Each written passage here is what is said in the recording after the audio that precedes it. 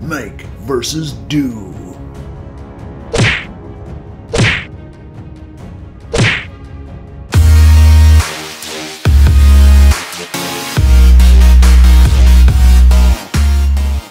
Hey guys, what's going on? Welcome back. My name is Sean, and this is Free 99 English. And in today's video, we're going to be discussing when to use the words make and do. This video was actually suggested by one of my WhatsApp group members. And as soon as you make this mistake, every native speaker is going to know that you're not a native speaker. So, if you want to sound more like a native speaker, you've got to nail down when to use make and do. But before we jump in to the video, I'll ask that you consider subscribing to the channel. It's free after all. Make sure you hit that like button if you find this video useful. And please help share this video so that other English learners can benefit from it. And of course follow me on my social medias. The links will be below. Also, stick around to the end and we'll have a short test. Alright, let's jump right in. Let's start with make. With make, you are creating something, you're producing something, you're building something, you're constructing something, and you're choosing something. So, for an example, let's make some coffee.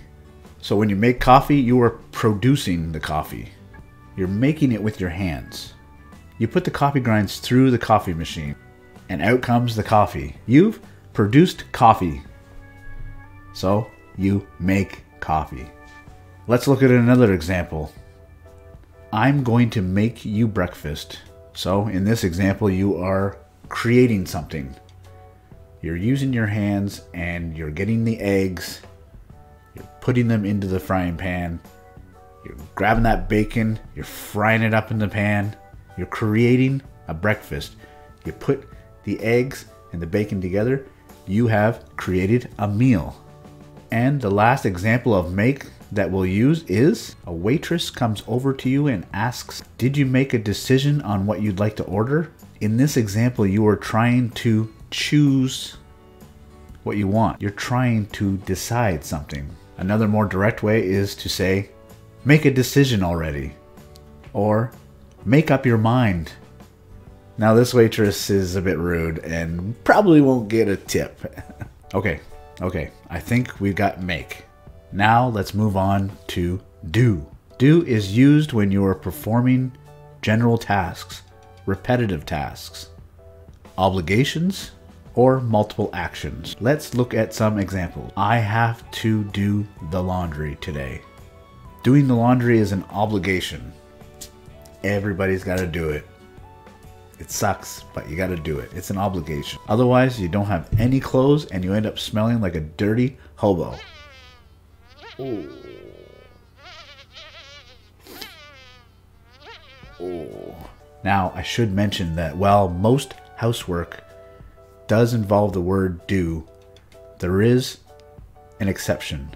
So when we say we're doing the laundry or doing the dishes, yes, we're using the word do. But what about the bed? What happens when you tidy up your bed? You make the bed. Why do we say make instead of do? I have no idea. English can be silly sometimes. My best guess is that you're making the bed look more presentable. You're making the bed look more nice. So you're making the bed. It's a strange one, and you're just going to have to remember.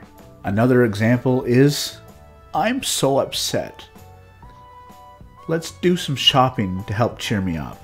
So in this example, you're not creating the shopping, you're doing the shopping. You're performing a task. And the last example before the short test is I really enjoy doing yoga every day. It helps keep me limber. In this example, you are performing a repetitive task. You're doing it every day. Okay, you guys are smart. You know it, and I know it too.